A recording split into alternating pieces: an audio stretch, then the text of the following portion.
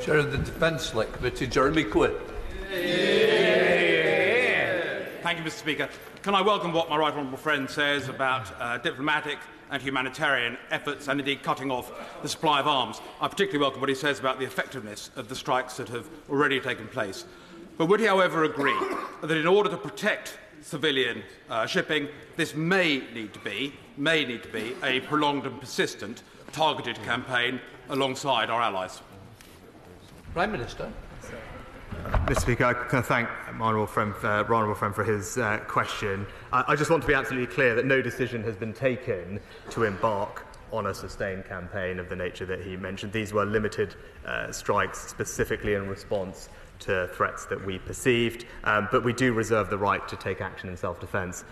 as I've said. But crucially, the military action is just one part of a broader strategy diplomatic, sanctions, and others. We will use all levers to bring about an end to the disruption and the illegality that the Houthis are causing.